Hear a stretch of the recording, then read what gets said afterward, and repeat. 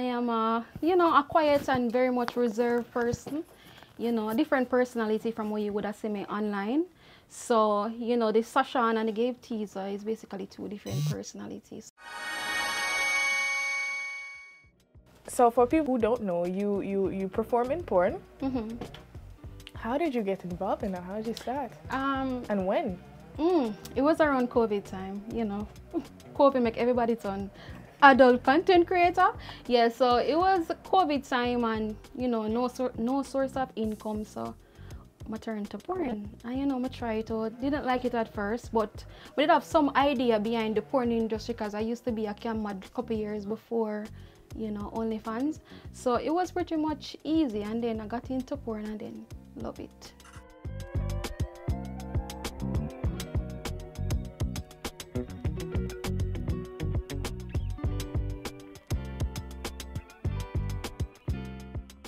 What's a regular day for you like? I'm a pretty much a regular, regular, boring person. I'm boring. So, all right, when we get up, you know, dip on my phone or we'll be working online or something. And just that's just basically it.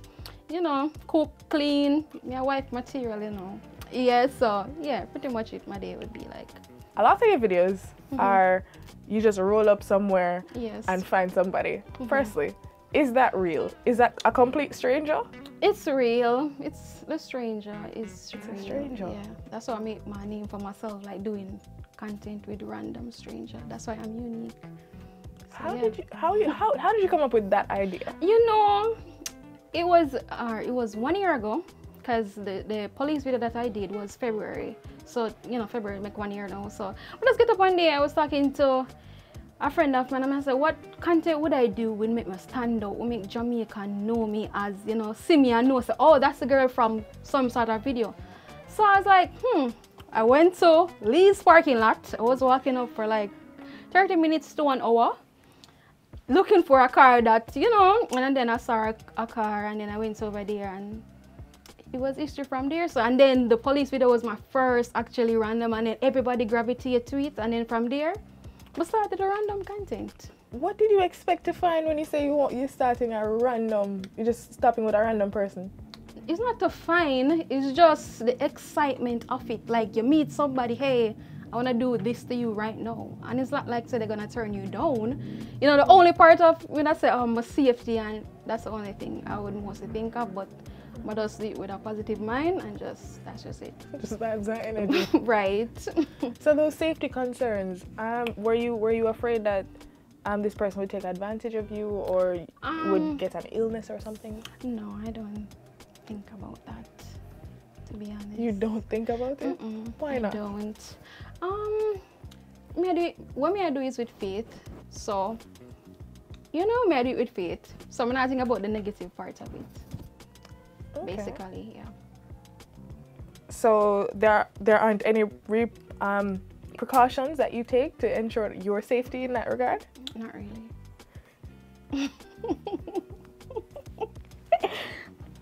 So Joanna, Oh my god.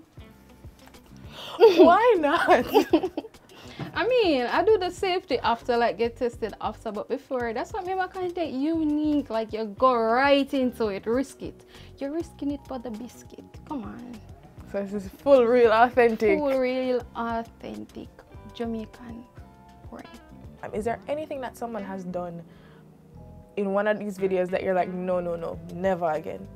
No, not, I have not had any bad experience so far. Really? Holy, it was it wouldn't be a bad experience because I did a video with the soldier guy in Barbados, which was the most riskiest one of all my content because he almost got in trouble.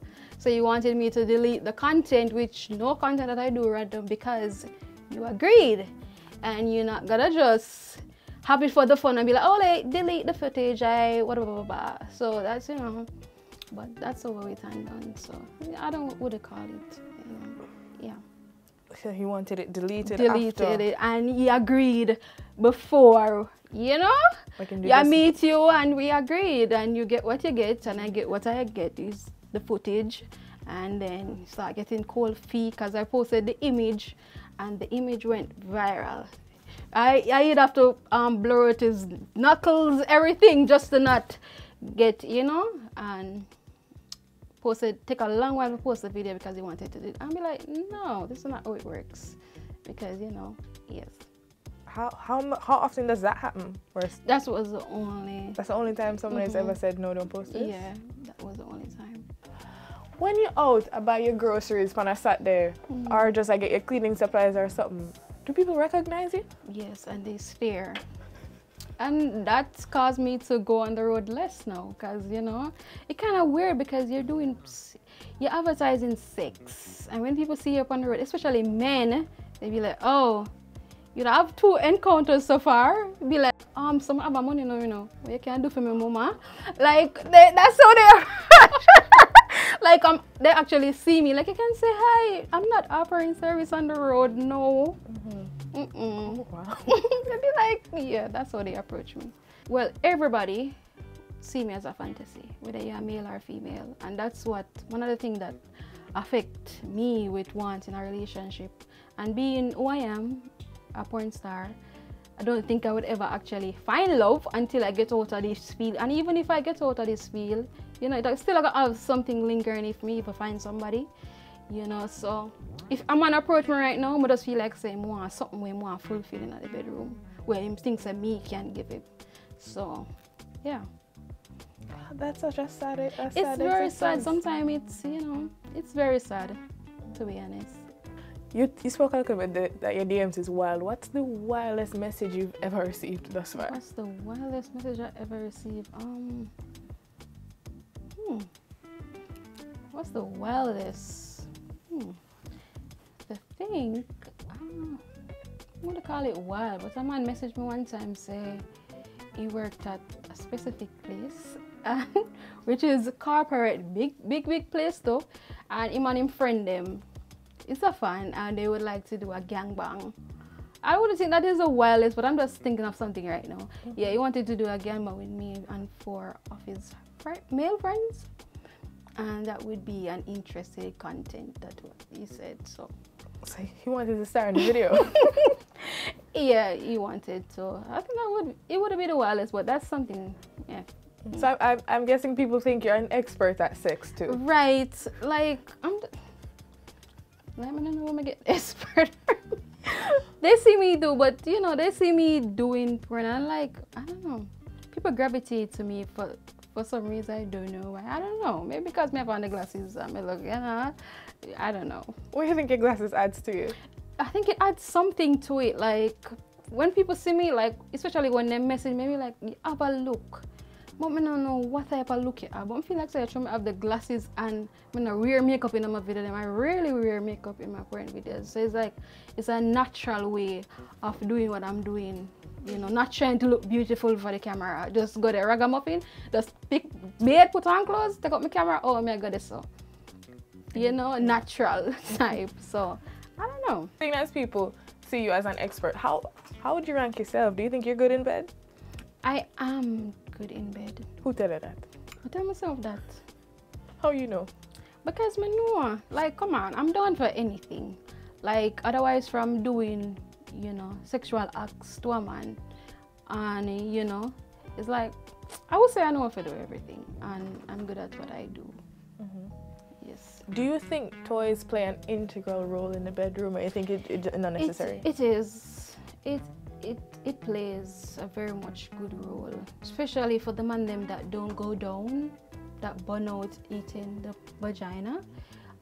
If you don't do those stuff or don't planning to do those stuff, I think toys is a very much option to please your woman in the bedroom.